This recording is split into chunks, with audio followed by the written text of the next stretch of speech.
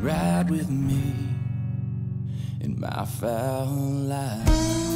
What's up? What's up? What's up, Fowl Life audience? The podcast. We're back at you with another episode of the Essentials of Duck Hunting. We're excited today. Today's episode of the Fowl Life podcast is brought to you by our friends in the great state of Georgia, friends, family, the outdoors. What Mr. Bill Jordan, his entire team, his entire family since 1986 have brought us the best camouflage patterns known to man. You talk about being able to disappear from turkeys and elk and deer, whitetail, mule deer, blacktail deer, Coues deer, ducks, geese.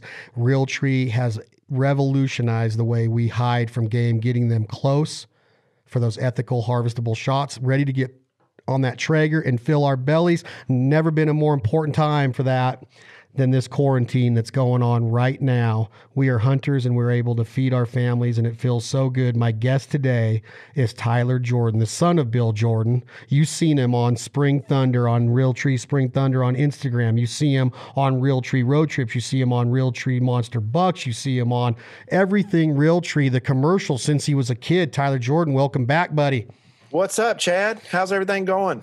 Buddy. I just uh, was laying low, following our leadership, and just social distancing. But I eating a lot of wild game, really focusing on my my recipes, really trying to think outside the box and be a better provider. And I think you know it's one thing I'm gonna take out of this is that my daughter is out of school and she's nine and she's obsessed with eating wild game but now i get to yeah. do home ec with her and teach her how to cook it and prepare it so it's been a cool deal what about you no no, kind of the same thing here. You know, I've, I've, I've been going hunting just about every day. If it wasn't for turkey hunting right now, I think I'd probably be pretty depressed. You know, just having that, having that outdoors is still a good thing. And, um, you know, at least we have that to kind of hang on to. And then my little brother and sister, obviously, with everything going on, they're out of school.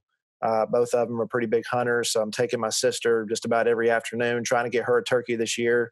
Uh, she hasn't shot one in two years, so we're still working on it. But we've had a pretty good spring, you know, with Spring Thunder on Realtree 365. We've had a pretty good spring. Me and Philip both, you know, really can't complain. We've, um, you know, the first couple weeks started off pretty hot. It's kind of slowed down here in the last 10 days, but we're still going at it pretty hard. You know, I, I think kind of late in the year, these birds are kind of getting in a weird mood, but, um, you know, we, we've hunted just about every single day since there's really nothing else to do. And then kind of like you said, just been cooking a lot of wild game. You know, this time of year, you know, with everything going on, especially too, you're thankful to be a hunter and an outdoorsman because I've had a lot of my friends who were at school that I went to school with at Ole Miss that have never been hunters.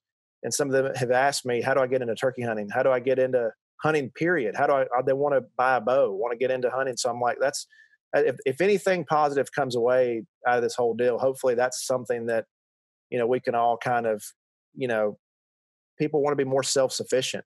And I think that's a good way to do it is to try to try to learn. And, um, you know, some, one of my buddies found a, a public land place to go turkey hunting. He's never been before in Mississippi. So he's going. So like I, that makes me feel good. You know, obviously everything else going on is awful. And, uh, but when you hear that, um, you know, it kind of kind of uplifts you a little bit. I, I agree 100%. I was talking to some guys at SCI today about a conversation I had on a, on a FaceTime video last night preparing black-tailed deer steaks and helping a neighbor do it because I gave them to them frozen. They thawed them out, and then they wanted a tutorial on what the membrane and cutting the fat off and and getting them ready with the dry rub and everything. And I just I, I, didn't think anything of it. It just became so second nature to me because we do it so much in what you and I do with content and how tos. And we almost take it for granted sometimes that we get to prepare wild game and that we were brought up in a, in a mentored style, style family to where we were hunting at an early age. And after he eats the black-tailed deer, you know he, he says to me? I want to get into hunting. And I'm like, wow, I, I didn't even do it for that. I just did it because I had some extra meat and I don't want you to have to worry about, you know, not because our, our store closest to where we live in this part of Nevada is out of all meat still. It's weird. It's weird that this far into this quarantine that people are still overindulging on that. But it is what it is. I can tell you honestly that since the shutdown, Tyler, I have not bought one piece of meat. I have being transparent. I bought some vegetables. I've bought some boxed cereal for my daughter. I have not bought one bit of meat, nothing, lunch meat, nothing. I mean, I'm slicing turkey breast, wild turkey breast for turkey meat. I'm I'm using deer summer sausage for sandwiches for my dog. I mean, it's it's it's amazing what the feeling and the jubilation it gives you in the heart of a hunter. Instead of being raw, raw, told you all would be leaning on us someday. You know, I'm more of like what you're saying. Like, let's get more people into this lifestyle. Let's get more people excited about it. Right. Well, I think it kind of, you know, uh, not that we we needed validation. We all know why we do it, you know. But you know, for for the guy like at our Publix, I was there tonight. It's kind of like you said. There's still you can't find any meat in the in the section right now, which is amazing. So I think when when people go in there and they realize that they can't get anything, they're like, okay, how do I?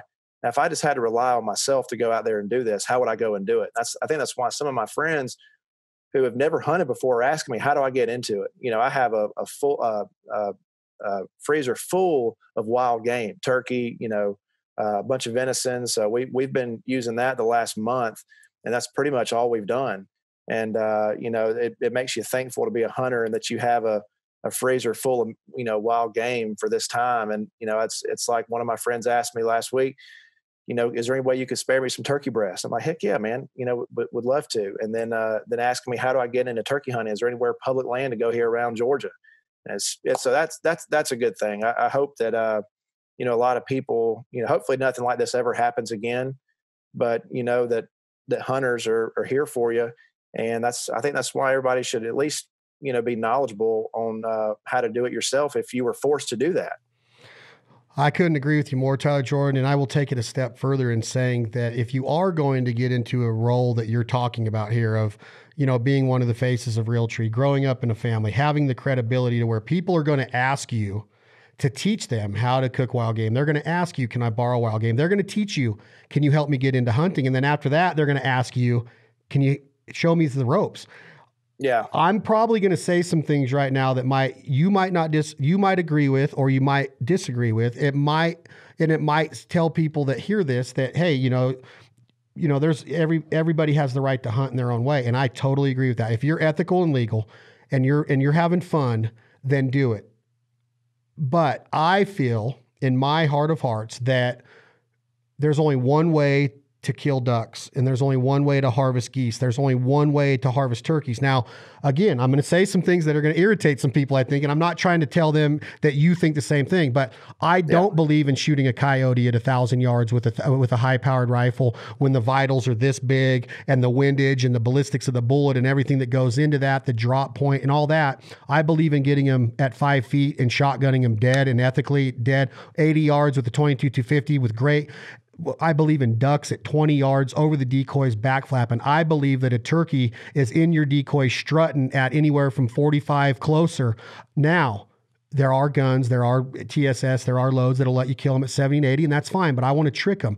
I'm also very against bow hunting for turkeys, Tyler. And I've I've been telling some people that, and they're like, "No, dude." I'm like, "That's one animal that's supposed to be shot with a gun." Now, that's not what I'm trying to get you to talk on. What I'm trying to go down this road, Tyler Jordan, is that I feel that the revolution, the Realtree revolution of being able to help hunters get animals close and get into their areas of where they are comfortable, and being able to shoot a bull elk at eight feet or 18 yeah. yards instead of five 500 yards, which is fine too with the right rifle and you're a good shot shot. I'm not saying that you don't hunt.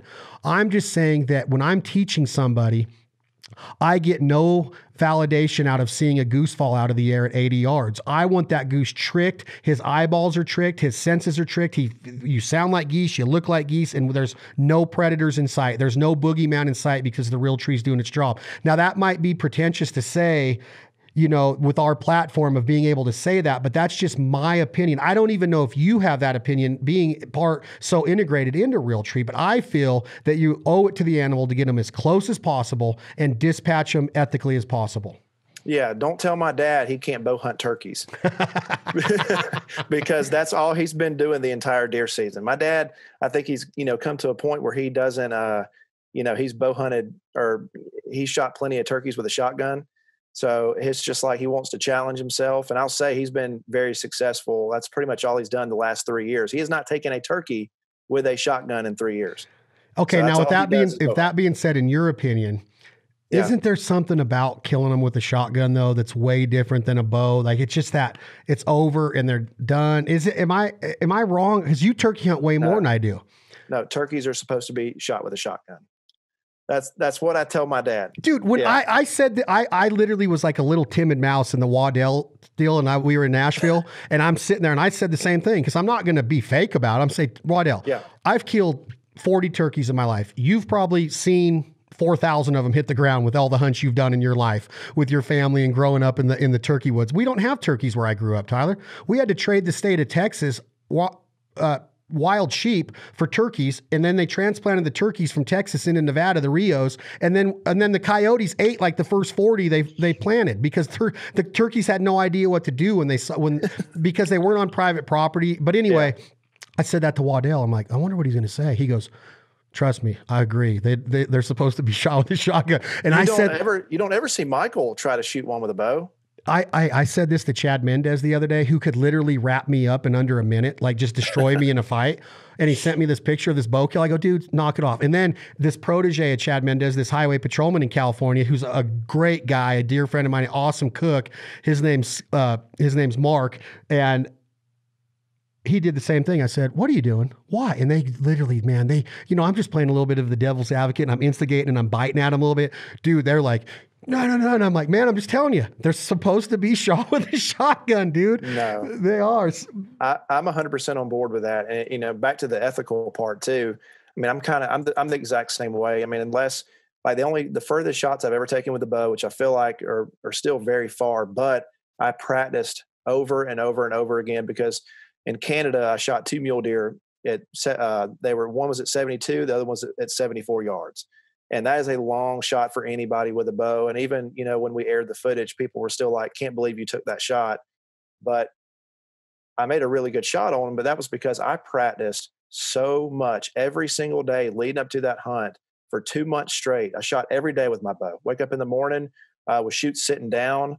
Um, and you know, I, I feel like if, if I didn't if I didn't prepare that way, there's no way I'd feel good about going out there and just winging it at 70 yards. There's no way I'd go that out there and do that. So, you know, having said that, it definitely is a long shot. But I think for the for the guys, the archers that you know that, that do take take that shot the ones that i've seen that i'm friends with they practice so much way more than i even do you know for whitetails a little bit different i totally agree i mean that you know most of my shots are you know 40 and in you know sometimes I, i've made a couple whitetail shots that are you know past 50 but that's very rare you know but for the mule deer when you're out there in canada the spot and stalk um, you kind of you kind of have to go that route um, you know, just because it's it's tough to get close on those those things, especially when there's no wind, there's no cover to hide behind. You're literally crawling through pea fields and uh, canola, and you know, trying to get as close as you can. But um, you know, I, I, I'm I'm with you 100 percent though. When it comes to shooting a duck, I'd rather I get way more fulfillment just knowing that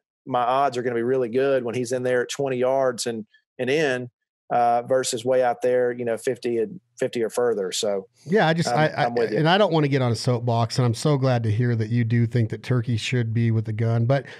Again, hunting is hunting, and, and when I talk to somebody like Shockey or you know, you, it really is. If if you're going to go do it ethically, we want people to have fun. I just don't want to see an animal suffer, and I don't want to cripple an animal. That's all, all I'm trying to say. So when it when it attains to the essentials of duck hunting, and you self admit that you Yeah. you that is probably the least amount of hunting that you've done compared to whitetail and turkey. Is that fair to say?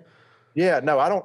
Yeah, I've never really been a big duck hunter, but that's because you know here, obviously in Georgia, growing up, it we don't have a lot of good places to go duck hunt. You know, my dad never, we never woke up and went duck hunting. It was always turkey or deer. So it really wasn't until I got to college that I really got into duck hunting because I went to the University of Mississippi out there at Ole Miss. I had a lot of friends. Usually, you know, duck hunting out there in Mississippi, it's a religion.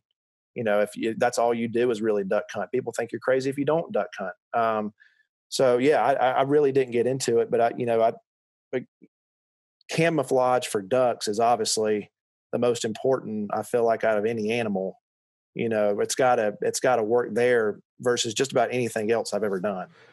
Yeah, and I think that I think that turkeys have great eyesight, and I think that movement is more. I think that you could probably be in a black suit and kill turkeys if you're a proficient caller and you stay still. But I think that camouflage and looking like the tree that you're sitting up against because the photography and the cameras today, you can literally take a picture. And I don't know if you saw the picture that Tom Rashashin posted. Do you follow our photographer Tom Rashashin at all?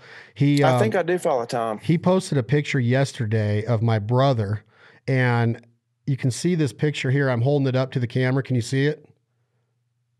Yeah, I got it. Yeah. Like I, I looked at it and I'm like, what's Tom doing taking pictures? And I'm like, whoa, I thought it was just trees. And then I'm like, my brother's carrying a rifle in real tree camo. And I'm like, that's the power of camouflage, right?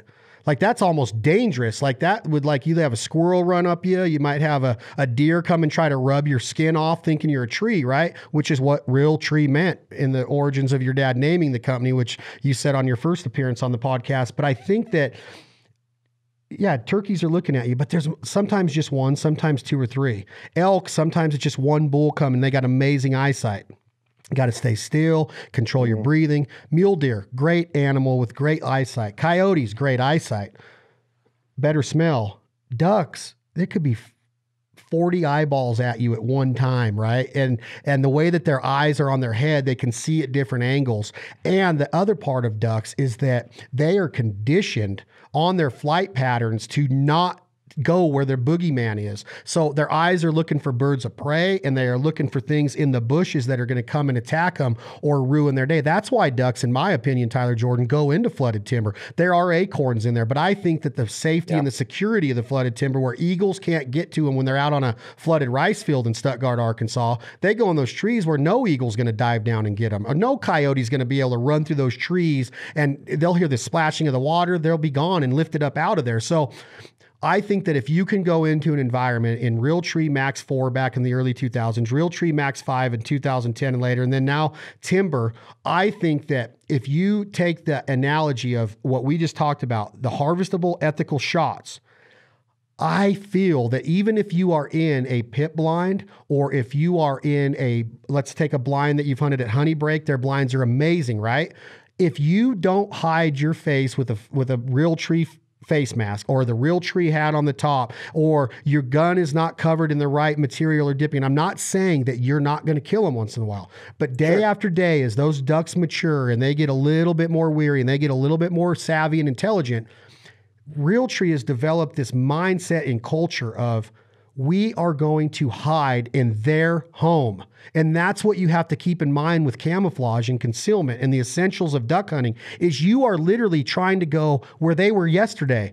You might go call a coyote. A coyote might not have been in that country in a year. You just know that it's it's got probability because of what it looks like ducks you scouted. They were there yesterday. I don't scout coyotes. I mean i go to areas i've yeah. seen coyotes once in a while but ducks i go they're there. They were here yesterday. They're coming back here and they're they're looking for something to fade, make them go away. It's our job to make them feel comfortable enough to come where they already want to be. As opposed to a coyote you're calling him out of anywhere to come eat something. He's coming there to eat. Ducks are coming in there going wow that hen sounds sexy.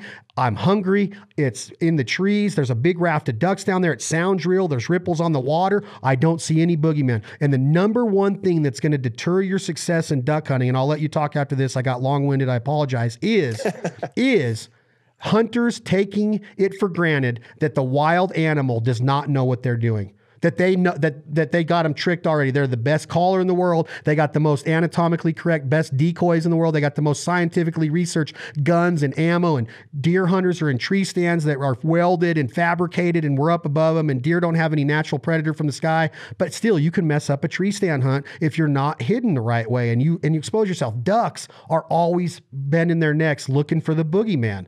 So are geese. This this podcast is the essentials of duck hunting, and I wasn't going to do it without you you and Realtree because I think that your game is upped 100% if you get the analogy in your head that you are in their home. And if you're in somebody's home and you're trying to trick them, you don't want to be seen. Yeah, no, I, I think I think you're exactly right. And uh, you know, something that that I've noticed in just my short at short time duck hunting, it's not something I've done for a long time, probably the last four or five years. Obviously, was out there at Honey Brake, one of your favorite places to go this year, quite a bit. And just going out there, you know, I've seen it where ducks have some of the sharpest eyes, you know, of all game animals, and uh, they can see your equipment way before you get in they get into range and that that's everything you know when people i i, I was out there this year and uh, you just kind of notice it obviously drew is you know sometimes polite doesn't say anything but when somebody has a, a shiny gun or you know they're wearing a, a digital pattern that that glows when those ducks fly overhead and he's calling to them and you can see those ducks bend their neck and look down it flared a lot of ducks I, I, mean, I saw it. And, and Drew said, man, I'm telling you. And he would give sometimes people crap for what they were wearing. I won't name anybody specifically, um, you know, brand wise, but not saying that, you know, Realtree is the end all be all either. But, uh, you know, you, you definitely you're up against a big challenge when you have ducks not only come in, you know, head, you know, you know, right in front of you or behind you, but they're they're looking down on top of you. And whenever you have, um, especially like pothole type marshes where you know cattails and other grasses uh, get matted you know it, sometimes it creates really large voids. And ducks they see that. They see everything. So you want to make sure you have something that you're going to feel confident in the entire season and i felt like that's something dad's done a good job is that he he tests his patterns over and over and he asked for expert advice i mean you were part of the process of you know developing real tree timber when it, before we you know came out with it I think a year and a half before we released it. I think you saw it. Is that right? Oh yeah. So I mean, you know, he he he wants to make sure he has everybody's input, you know, from guides to our pro staff, and um, you know, I, that's something that that pattern does a, a really good job of. Of is timber specifically having those large cutouts, especially at, the long distance. Those ducks that break up is something that we that you really don't see in any other pattern. And um, you know, I, I think that's what, you know, that's why Drew said he was so drawn to it. It's just, it really breaks up your distance, you know, from a long ways all the way until you can bring a duck in and uh, it fools them to bring them in close. And if you think, you know, you know, Drew, he's a go getter. I love Drew, and he hunts in a lot. He hunts in in in the same general vicinity, you know, every day to where you could get conditioned to the mindset, well, I don't really need to wear camouflage or I don't need my clients wearing camouflage because our blinds are so well maintained and built. And he's got the exact opposite opinion. He's like, no, our success rate's gone up tenfold. And on top of that, if you go and you talk to my buddy Joel in Arkansas, for years, Joel would wear and you know what you know what wax wax canvas is mm-hmm. and just oilcloth and all that that that dark brown that's yep. what they would wear in the trees and that's yeah. what a lot of old school timber hunters would wear. And then when this pattern comes out, they start to wear a more technologically advanced jacket that Banded makes, and you, you work with other manufacturers. Obviously, we push Banded, but Banded comes out with you know windproof and waterproof and comfort levels and pockets here, and it's really orientated for a timber hunter. And then he's like,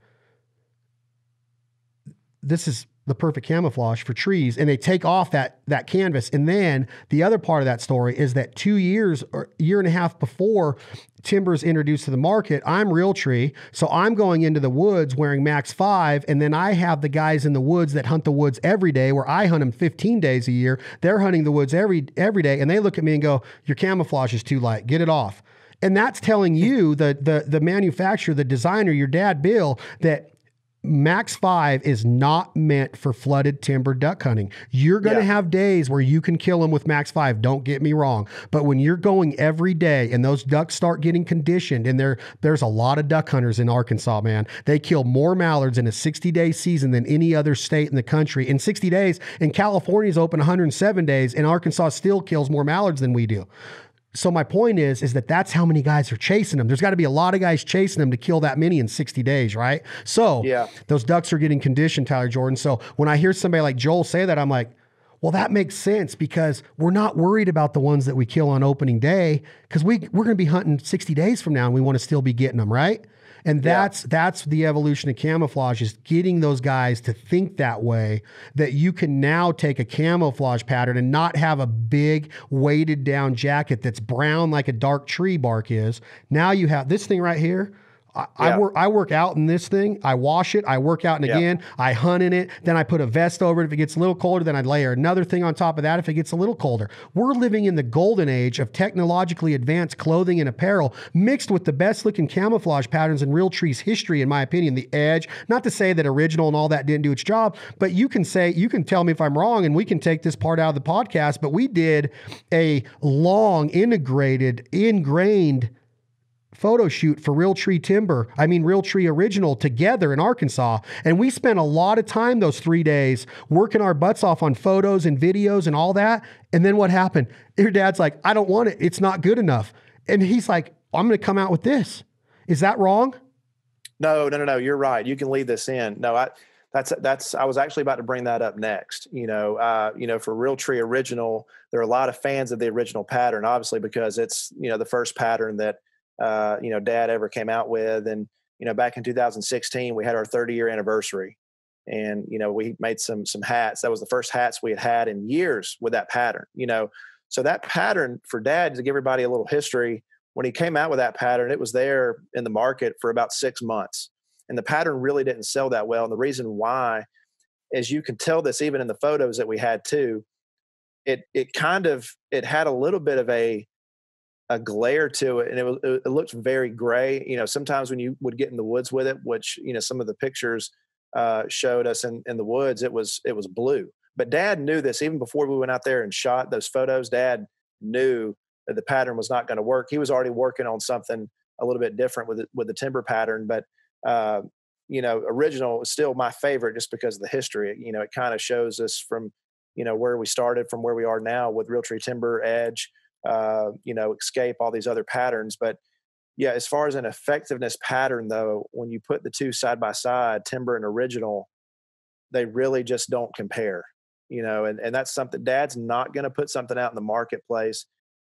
He's a stickler, man. He is he tests over and over and over again it doesn't matter what pattern it, it is. Realtree Edge took dad three years of testing in different environments. And obviously, you know, trying to find a pattern like Edge, not to get off on, you know, deer hunting, but for Edge, it's you have to have something a lot more, it's not going to be as versatile, you know, in different parts of the country. It's only going to match certain, you know, terrain where, you know, duck hunting, it's a lot of the similar uh, you know, type place that you go to. So that's why Max Five and Timber work so well. But you know he he does a lot of testing asks a lot of questions gets input from our pro staff like yourself i remember i was so excited to show you the pattern because i know you're one of those people that's going to be honest with us you know you're, you're going to tell us right away if this works or not. And uh, you know you were you were pumped you know when, when you first saw it. And that you know it, it makes me feel good because i know how much time and effort dad puts into right. to making sure he has the best product out there you know for hunters to make sure they're going to feel confident when they go in the woods. They know they're going to disappear. And that's something that original just didn't it it never had.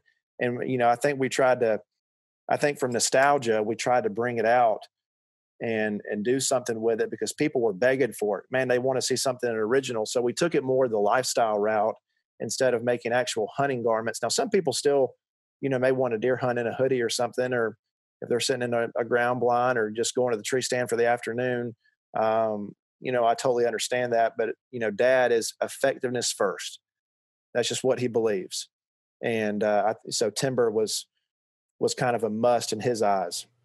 I just think that there's a different mindset, and I think your dad thinks the same exact way as the mindset I'm thinking about. With the effectiveness statement is key. Is like I talk about when I do speaking engagements or seminars on duck hunting, I always talk about this blank canvas, and you're the artist, and you're throwing all these paints and oils at it, and you're creating a masterpiece.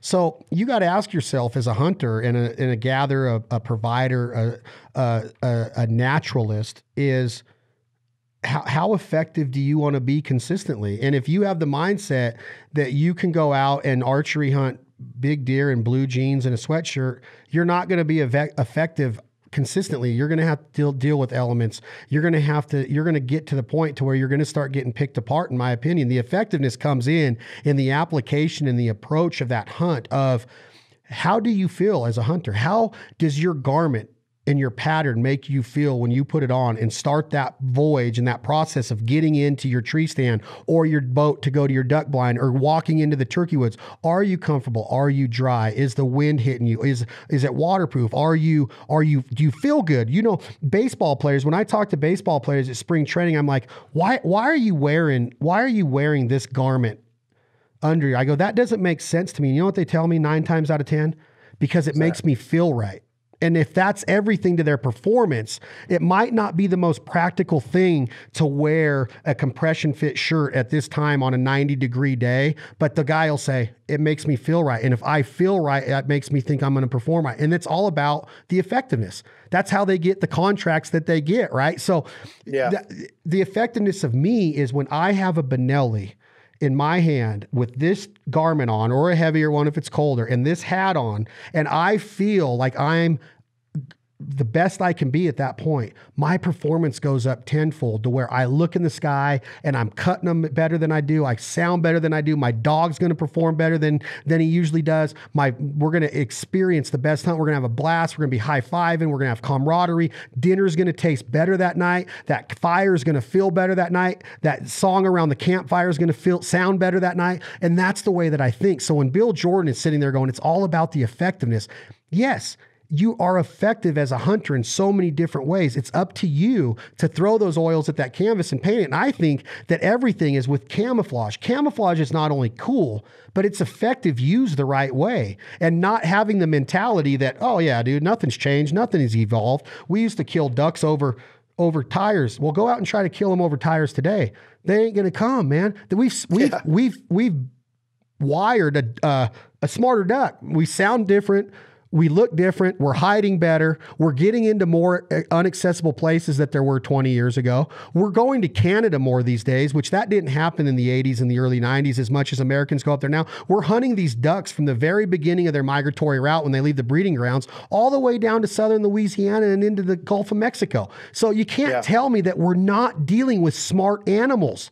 We are dealing with a smarter creature, in my opinion. And that's why effectiveness, in the Bill Jordan term to put it, effectiveness is key. You can't argue that. You cannot argue something that gets animals as close as we get them. Not just we, as in we. I'm talking about you and the Waddells. I've seen so much done over Realtree camo that would make you go, Did you just see that? You gotta be kidding me. I, I I wish I wish that people accepted predator hunting more because I could show you predator hunting videos of coyotes at a foot that literally are the best hunt the most adaptable hunters in the world they say. And i mean charging us at a foot away running into us and getting killed to where i didn't feel comfortable putting it on tv because it was so up close. So i used my discretion of saying that's not i'm not going to do it.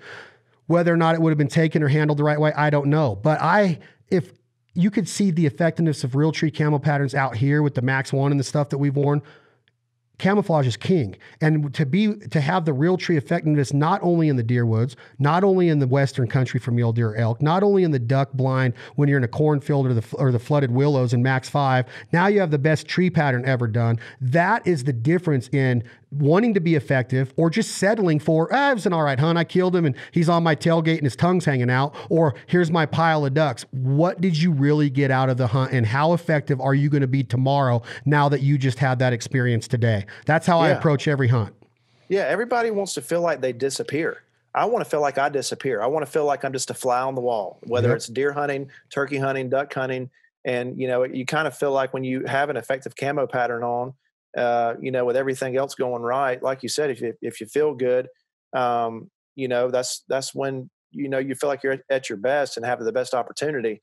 And, you know, that's something dad's always stressed is, you know, I, I, and I'm not going to knock any other, you know, camo brands or anybody that comes out with other patterns, but, you know, something that, uh, you know, dad's always said when, when companies try to say, well, this, oh, this, you know, digital look will kind of give you a, you know, it, you know, tricks a deer's eyes or a duck's eyes. It's like, why would you not want to have something that kind of mimics the environment that you're in? You know, that, that, that, Well, if you're asking like me, I mean, if you're asking me, I could I could talk on that for five days. I mean, it's no it's no question. It's not even a- an argument to me. It never has been.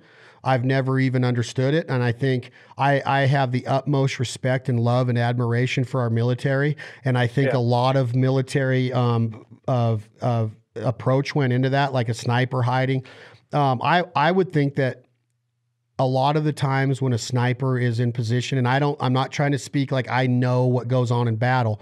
I would think that you probably carry a net with you, that 3D netting to throw around you, around the area to cover you up and break you up more with the 3D effect of looking more like vegetation or a big ball of moss or a rock pile or something. I don't know that for sure. I've just have never bought into it. I never will. I don't. I'm just like you. I don't argue it. I don't. I don't chastise them for it. It's to each their own. But I Yeah. will. I will never ever buy into it. Never have. Never would. Now I know people that have, and I don't sit there and say you're you're so off your rocker. I just know that I've been in the woods enough where the woods, the hills, the marshes, and we don't hunt like 99% of the world do. You don't and I don't. And the main reason is is because we have a camera crew with us. And that camera crew is there to document and make the people watching it live through what we're doing vicariously. That's what you do with your turkey hunting right now is you're giving people an outlet to live through because you live in a spot that you could walk out your back door and enjoy a turkey hunt with your dad and your family and document it for us to enjoy it and still live through your eye through your hunts. And that's what it, you're doing. And I have watched it in the la and I've been filming hunts with Fred Zink, Ducks Unlimited, all of that since the year 2001. Not as long as uh, most people that are in the game, but longer than some. And I have seen animal after an- and I've been with Realtree, so everybody knows I've been with Realtree since Max 4 came out, which was mm-hmm. 2002 maybe 2000 I don't even know. 2000 Yeah, I think, it's two, I think it was 2003. Three, somewhere in there. I was one of the first four. It was Barney Califf, Jeff Foiles, Sean Stahl, and Chad Belding. I remember getting the phone call and being on the Max. I remember getting the big shield stickers with Max 4 on it. I remember the first garments we got, everything. So this isn't just me going, ah, it's Realtree's good today. I've never worn another camouflage since I started filming hunts. Never have. Now, back in the day when I was just coming up and hunting and I had a, a MO shirt or I had this shirt or whatever, I, I, I everybody knows they can go find it ev- anywhere that I wore different camo. Phil Robertson wore different camo one time. People did, but where do they end up with the best? That's where we end up. And I've been with Realtree since the very first day of Max 4 and watched the evolvement of the Max 1 and the Edge and and the Timber and the Max 5. Eh, There's one I'm missing. I'm missing one. Uh, Timber Max 5. I'm missing Edge. one. There was one more in there that I'm missing. I thought since 2000. But anyway, I'm not trying to say that that you know I just woke up. I'm trying to prove I didn't just wake up and say, "Oh, I'm just going to go with Realtree because they asked me to." I've been diehard Realtree for a lot of years. The Avery years, Tyler, the Tom Matthews days, the days when when the the Bass Pro stuff happened, right? I mean, I've been there for a long time, and I've watched many a camera crews dig in and get ready for a hunt. And I'm talking from from mule deer to antelope to predators, which are the, are the keenest of animals in my opinion, and then ducks and geese and turkeys. And I have watched us trick animal after animal after animal consistently. So I can't argue the power of the non-digital camouflage that we choose to wear, which is Realtree. I could never ever not hunt in it, which is that's a bold statement. That's a bold statement because I could go out tomorrow and probably get and, and have a successful hunt in another camouflage pattern. It just goes back to the effectiveness and the way that Realtree makes me feel through my confidence to throw my paints at that canvas and create this hunt that I look back on and go, I'll leave my legacy on that hunt.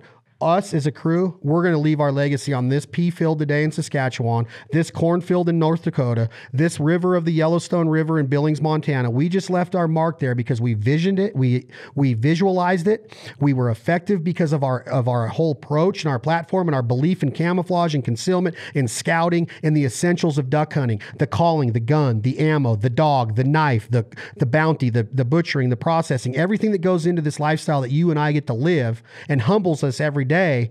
That's why I feel that what your dad has done since 86 is given people that magic in so many different forms. That's why camouflage is an essential. And it's not about, well, you could wear this and you could kill them. You could, in, in a sunny day in the woods, probably be naked out there and kill ducks if they're really wanting to be in there and you have a, a good sounding call.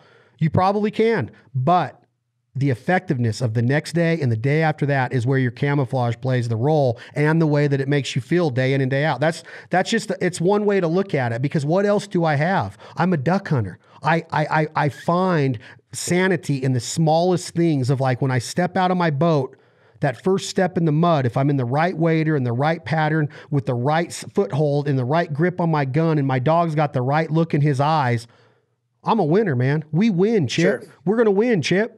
All right, Ricky Bobby, we're going to win because we feel good. The, that, that's all that it, it- we, we're, we're going to win today because we are ready for this hunt. we've studied the power camouflage. That's I think what what the the camouflage brand of Realtree has done has absolutely created magic for millions of thousands of people, millions of times throughout the the the 1986. How long has it been? It's been what 30 30 since 86 34 Almost- years. yeah yeah 34 years So Yeah, which I think think think is- about how many memories have been created through Realtree in those 34 years.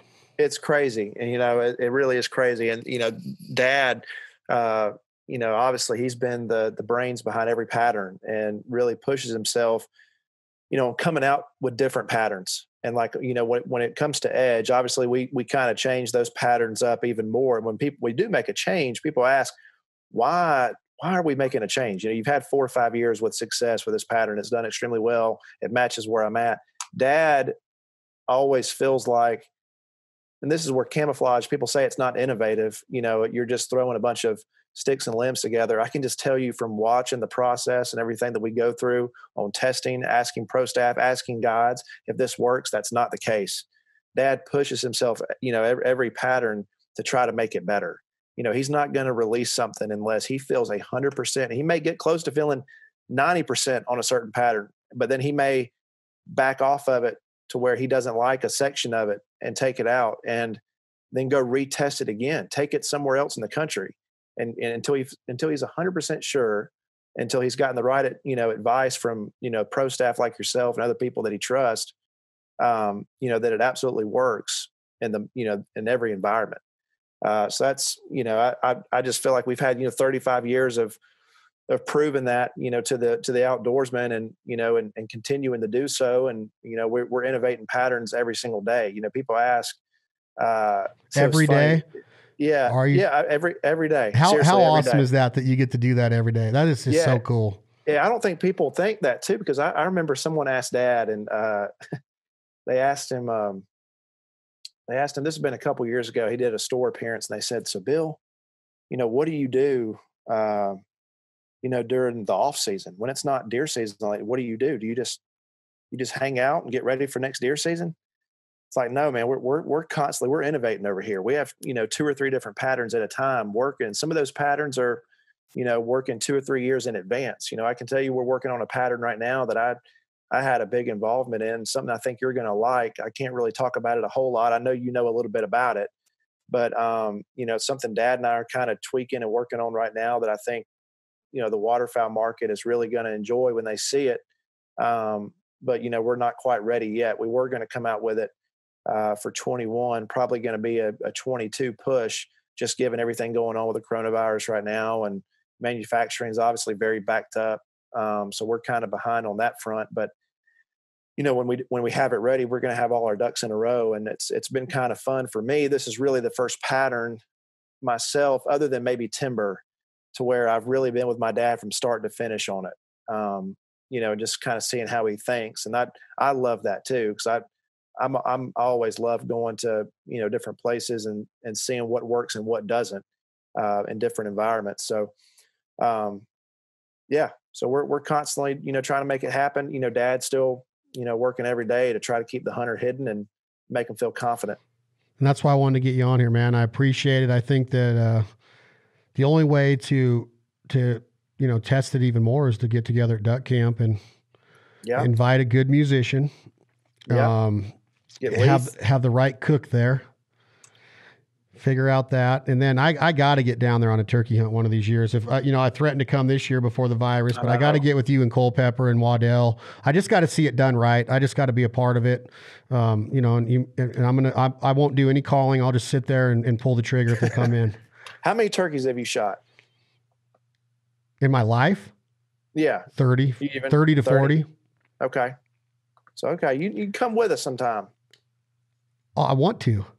I know. We, I know we talked about doing it, but man, I, I, this year would have been awesome because it, it was it was rocking those first two or three weeks. But next year, plan on it. We can go with uh, you know, Michael's just right down the road from us, but our you know, stay at the farm next year and we'll try to get on some. We got a lot of turkeys this year. We've had a lot of good hatches here the last three or four years. So Yeah, next week we have Michael coming on to give us a turkey report. We have a Nick. We got Nick Mundt coming on to give us an application and his house report. We got T Bone coming on to talk about what T Bone does, and and yeah, I just love I love that dude. And uh, who else? Who else? Realtree we got coming up pretty soon. I've I've reached out to Nate Hosey. He's getting back to me. Birdsong's coming on. Um, I thought I had one more coming on. You know, I did. I'd had Justin Martin on the other day, and it was awesome.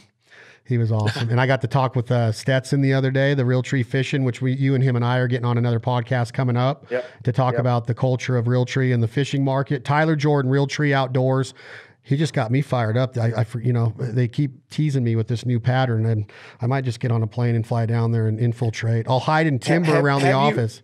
Have you seen a piece of it yet? No, Okay. All right. Well, I'm gonna show. I'll show it to you off here, obviously. But I I actually I got I got I got it here in my room. Actually, just a just a pe You know, it's not 100 percent done, but I do have some of it here, so I'll give you a sneak peek. well, I'll it. hit stop record on this. That's another episode of the Fowl Life podcast. Tyler Jordan, thank you so much for being here, brother. Thank you, Chad. Appreciate it, man. Yes, sir. The essentials of duck hunting. We're going to keep them coming at you. Again, today's episode of the Fowl Life Podcast was brought to you by our friends at Realtree Outdoors. Friends, family in the outdoors. Bill Jordan, Tyler Jordan, the entire crew. You name it, they've been wearing Realtree. I promise you. Just check out the history of hunting since 1986. We abide by it. Never will wear another camouflage pattern. For more information on the Fowl Life, check out thefowllife.com. You can find us on Instagram at Fowl Life TV. You can find Realtree on Instagram at Realtree Outdoors. Follow their page. They got a lot of awesome stuff going on with Spring Thunder right now. We'll be back at you soon with another episode of The Fowl Life. Please continue to support the partners and sponsors that support us. Tom, hit that button. This song is called My Fowl Life by 2AM Logic.